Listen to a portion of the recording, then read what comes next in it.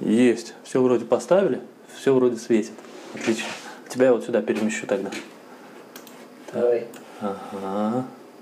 Так вот, про Джонни Хайланда. Да, многие не знают у нас его, но у нас, ты, ты видишь, я вообще обратил внимание, что у нас даже вот из этих испилильщиков-то э, многие не знают многих. То есть, например, многие Энди Тиммонса слышат в первый раз, да, вот это имя. Обратил внимание? Сейчас, у нас что? У нас Сейчас я выключу WhatsApp, чтобы он не мешал. У нас Сатриани, у нас Вай, э, это из пилильщиков типа Шред, ну это кто? Это Сатриани и Вай, да, там. А э, там, скажем, из таких из звезд это там Хамметы, Слэши и всякое вот такое. А у них действительно... Виртуозы, правильно их называть, виртуозами. Ну, те виртуозы, а это просто типа, типа гитаристы, да, в группах. И их никто не знает. Так вот, я о другом. Ты знаешь, я недавно наткнулся вот на такую штуку. У меня один из э, учеников моих, он делает кавер на песню Тони Айоми из его альбома Айоми, а песня называется, я тебе сейчас скажу, как она называется. Я даже ее, наверное, знаю, потому что я слышал его все альбомы с Глен Хьюзом и сольные. А Тони Айоми с Филом Ансельмо из Пантеры, Time is Mine. Нет.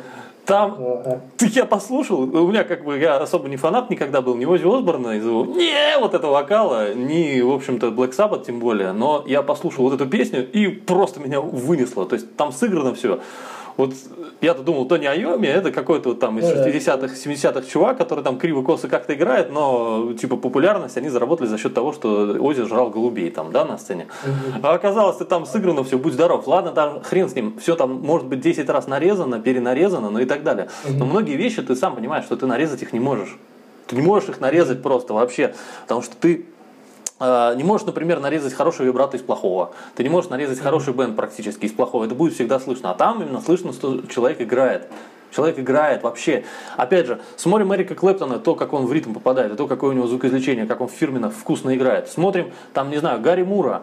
Смотрим хрен с ним даже. Смотрим Карлоса Сантана, несмотря на то, что есть там у него всякие, всякие вещи, но старые вещи его смотришь, там очень все ровно, ритмично, очень здорово все. Смотришь Битлз, смотришь там Дэвида Гилмора, господи, Брайана Мэй, тем более, кого угодно. На мой взгляд, вот эти все чуваки, типа там слэши и всяких таких, они вылезли на, на волне, можно сказать, рокового хайпа тех лет. То есть, эм, ну, грубо говоря, вот пришли сначала мега-монстры, там, Black Sabbath какие-нибудь, которые, помимо всего прочего, то есть он работал на заводе, например, да, там, помимо всего прочего играл. И играл так, что эти вещи начали продаваться. Придумывал, играл, записывал, все это делал вот на таком мега-уровне, что все там, грубо говоря, наложили в штаны, побежали там слушать их, и стали, они стали собирать стадионы. Потом этот хайп, он начал распространяться, что типа рок это вот так вот, это круто и так далее, и так далее. И начали вылезать кто угодно, но только не играющие люди. То есть, например, почему вот, например, мы исключаем такую версию, что там какой-нибудь слэш это просто может быть проект чей-то. Типа, нам нужен гитарист, который будет узнаваем. Вот сидит продюсер, как оно вот в, э, бывает, да, там вот в шоу-бизнесе, там в попсе, например. Нам нужен человек, там, там девочка какая-нибудь, она 10 раз поет, 10 раз все круто делает, но она никакая. Она вот как-то выглядит, незапоминающийся образ, ну какая-то она никакая.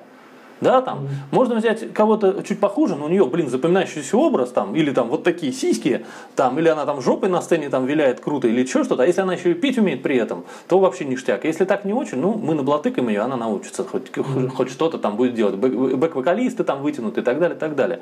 Почему слэш не может быть таким? Почему исключается? Это же такая же часть шоу-бизнеса, как какая-нибудь Майли Сайрус. Ну, никакой разницы-то нет. Просто здесь одно, один Погоди, образ. Погоди, вопрос тогда сразу. А если речь идет о качестве шоу-бизнеса, вот сидит такой продюсер, вот он послушал, что получается в лайве у Guns N' Roses сейчас. Это вообще что? Это, Ну вот это смотри, ну вот смотри, ничего, да ничего, да ничего подобного. Я как продюсер меня не интересует, что у них там в лайвах, в лайвах получается. Меня интересует, сколько этот проект денег приносит. Ну, ну, я понимаю прекрасно, что это бездари. Я вот э, на самом деле не буду говорить кто, но вот про одну из э, групп российских, которые, кстати говоря, бомбили так, там у них было там по 60-70 заказников в месяц. То есть ты прикинь, они по две халтуры за день отрабатывали. Про них, их же, собственно, директора, продюсеры говорили, что это самодеятельность. Самодеятельность, понимаешь? Они это понимали, а группа каталась при этом.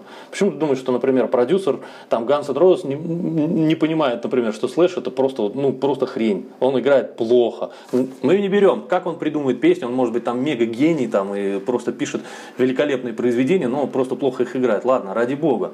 Они прекрасно могут осознавать, что Слэш играет плохо. Ну, плохо он играет. Ну, вот так вот получилось. Юрий Антонов тоже на э, акустической гитаре не играет, как Томми Эммануэль, да? Но ему это не надо. Ну, и слышь, это тоже не надо. И продюсерам это тоже не надо.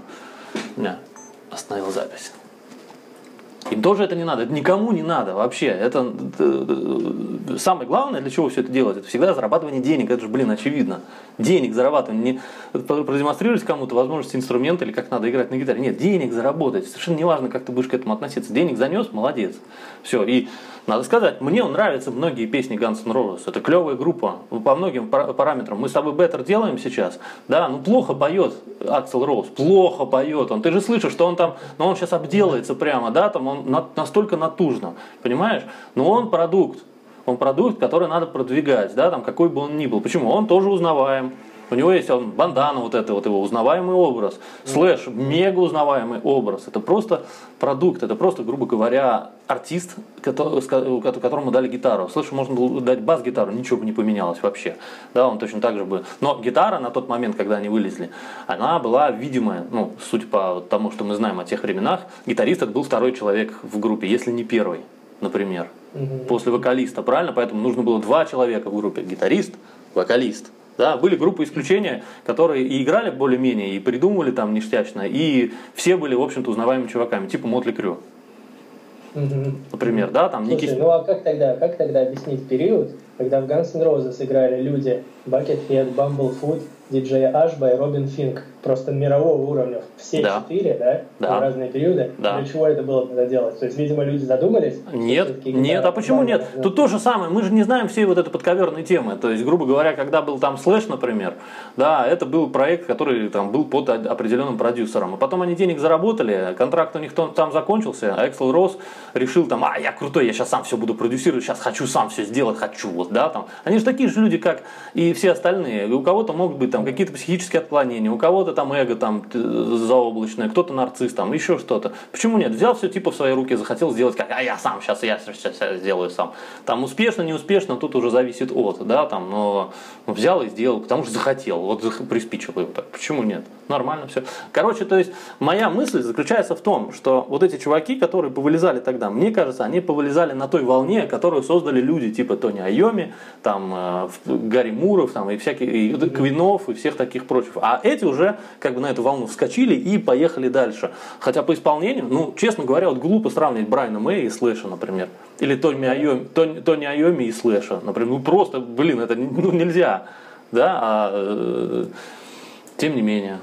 Вот так.